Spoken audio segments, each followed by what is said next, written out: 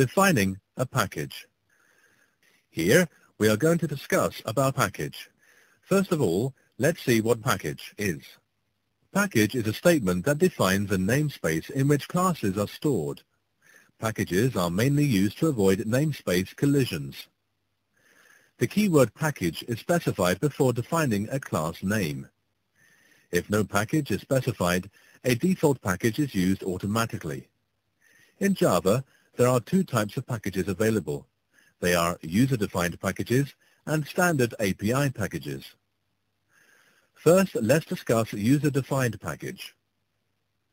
Java allows the user to create their own package, which is known as user-defined package. If we want to define our own package, then we should know the general form of the package. Here's the general form of the package. Package, package, hyphen, name, semicolon. Here, package is the keyword, whereas package hyphen name refers to the name of the package. Let's see a sample program through which you can understand more clearly about creating the user-defined package.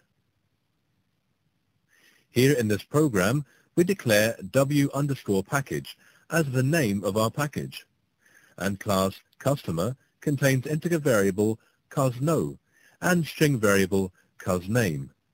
Then the method display contains two parameters int a and string s respectively.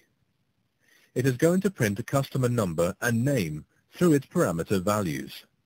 Now, save this program inside package w underscore package.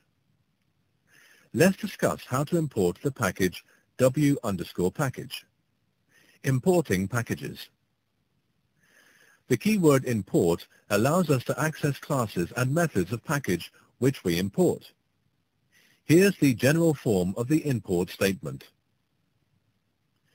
Here, import is the keyword whereas package 1 refers to the name of a top-level package.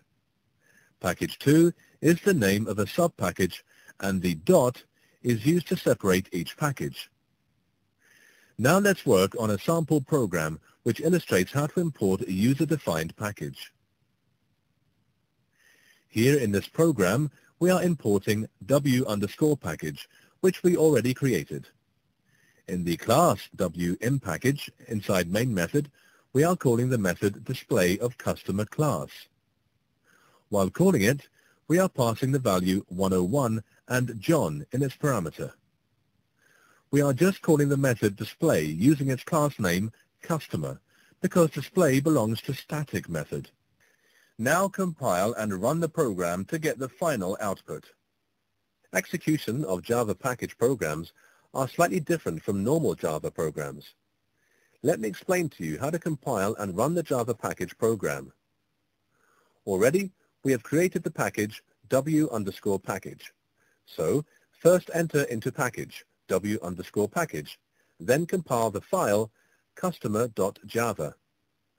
By typing java c space customer.java and press enter. Then type cd double dot and press enter. Now compile the program w underscore in package.java by typing java c space w underscore impackage.java and press enter.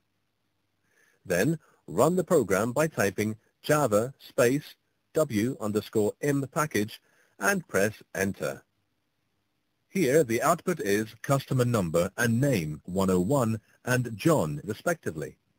I hope you are clear with the concept of creating a new package and importing it.